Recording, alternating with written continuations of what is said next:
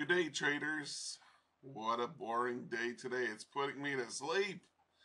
Right now, I just wanted to go and watch TV and fall asleep. But uh, I got to shoot the video. The show must go on, huh? Yeah, the show must go on. Okay, let's show you the divergence. Yeah, make this video quick. right there like that. And like this. And the little doodah goes right there. Or, or here maybe, I don't know, wherever. Got a nice solid close, lower close on this candle right here. So if we got short here, stop would be right here, 10. This is the NASDAQ. Let's say you put it up here, 15 points. Well, it went down 37 points. So you got your you would have got your two to one win loss ratio. That was before the open. Here's the opening spike right here. 9:30 stock market opens. They shoot it right up. Was there divergence? Oh yeah. Oh yeah, there was. Even in this crappy day, there was. Did they go very far? No, but they still gave you setups. Oh, I forgot the doodah. Doodah, doodah. Okay, so I myself, after a 40 point spike like that, you know, that big spiking candle, I would wait for some kind of retracement. So I'm saying, let's say we got in right here. That's in hindsight. 24 point stop. Did we get 24 points? We did right there. We got it. And what did it do for the rest of the day? Nothing. Chopping. Chop, chop, chop, yo-yo chop. Let's look at the Dow quickly.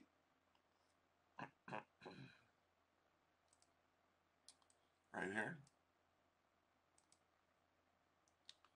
And right there. And you would have got in, say, right on the opening of this candle.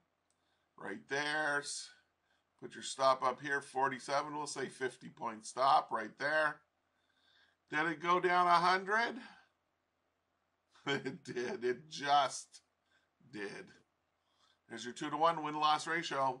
Did we have a buy in here after the. This is 1630? Yeah, this is the 1630 spike. Did we have divergence to buy to go up? I don't think so. No, we did not. And you know why we did not? Because we need this valley to be higher. And the reason why it's lower than this one is because it came down too far. So when it comes down, it's got to paint those in, right? and that's why there was no trade. Other than a cross up and a buy, if you would have just bought it there, well, it went up 80 points. Let's take a look at that. S&P now. Oh, droopy, droppy S&P. Well, it has the same trade as the other two. The hard to see divergence. Just like that, like that, somewhere in there. And we put our arrow to sell right there. And it went down uh, eight and a half points with about a four point stop. So it worked out fine. Oh, over here it worked out. Look, look. But it didn't work out. It was a it turned into bad. Very bad. But it was divergent and I always show the losers. You can't be winning all the time, right? Right. So, there was a big spike up here. So say you would have got in right here. Your stop would have been nine points, and it only went up like three points. Yeah, man. You'd still be in it if you held on for dear life. Um, but it didn't come and hit your stop because your stop was under here. But it looks like right now, it probably looks like it'll just drift lower and get the stop if you were still long from up here. I myself, I would have saw this crap even if I lived through this one, this big spike down, as soon as it came back up, I would have got out right there. I would have said, I had enough of that. And that would be the end of that. but that was a setup. Okay, let me put the doodah on. That was a setup to buy, and it was basically, there was no follow through. You know, it's not like the Dow and it rallied up here. It, would have been nice if it would have done that, but it didn't do that. Let's look at oil now. Oh, look at oil. La di da. What do we got here? Well, we have to draw it. We can't we can't draw it like this because it's basically level. Okay? You need to have a dipsy do, meaning a dip. Right here was the dip. Okay, that is lower than here. Otherwise, it won't be divergent, right? So anyway, you got in right here, and it's right there. That's divergent. So somewhere in here, say on the opening of this candle, and you would have been right at resistance, and the chart would have been right up here at the top. Remember that. Very scary to buy up there. Okay? So say we got in right there. Our stop would have been 57 ticks. Oh my God, it went up 60 ticks. You would have got your one-to-one? Holy jeez Louise. Let's take a look at the pound yen now. Oh, the pound yen, the pound yen. Right here. There is divergence. It's right in there. There we go. Right here, and you would have got in right here. Boom. It went up, pound yen, 45 pips. Stop would have been under here, about 20 pips. You would have got your 2 to 1 win loss ratio. And what about the euro yen? It's pretty choppy too, huh? Yeah.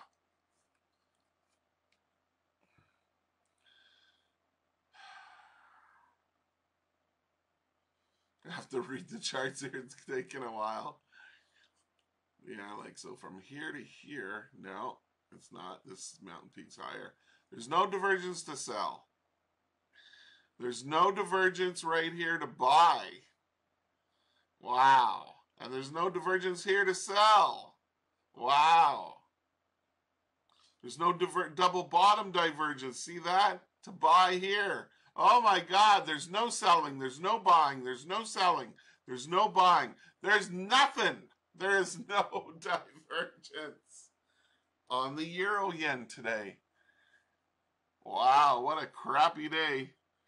Is it Monday today? No, it's Tuesday. okay, let's take a look at gold. Oh, yeah.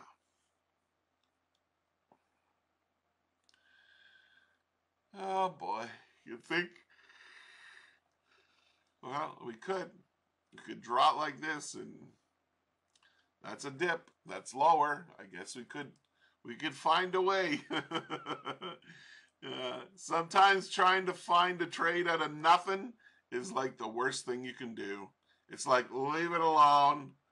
Go go for a nap, go for a walk. Whatever you want to do, just don't do the trade. But like Baretta says, if you can't do the time, don't do the crime. So if you want to put yourself in danger of crime, well, try and make a, a trade setup out of nothing. There was actually a trade setup here. It was okay, but it wasn't the best. But it was good in favor of the move. It went up 132 points, ladies and gentlemen. Oh, there's divergence up here. Got high and higher high. And look at that. It's just sticking out right at you. Right at you.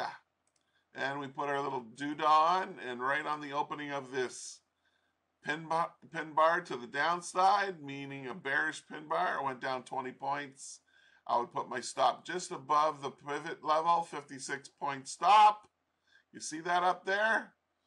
Okay, and it only went down 20 so far, but it could go down and hit T1.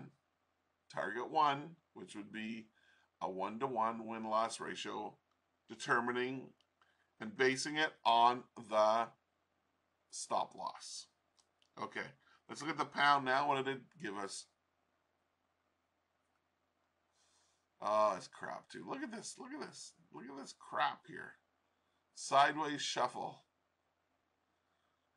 Anyway, after this big candle up, it's telling you, hello, hello, we're going up. And that's exactly what they did. So if you had the balls to buy it right here, you know, your stop would go down here about 24 pips. Went up 33, 34. You got your one to one. And that's it for today. Uh, sorry to go through the charts so fast. Uh, I'm I'm falling asleep here watching this market. Um, so that's it for today. I swear it was Monday, but it's not. It's Tuesday. What a crappy day. It's like, where is everybody? Where's the traders? I don't know. Maybe they're still on their weekend holiday. The big the big dogs. I don't know. The whales or whatever you want to call them. Anyway, once again, my name is Jason Sweezy. I trade divergence. I love divergence. I have a passion for divergence. I believe it's the only strategy that has ever worked for me, and that's why I trade it. Anyway, thank you for watching. Thank you for listening. Good luck and good trading.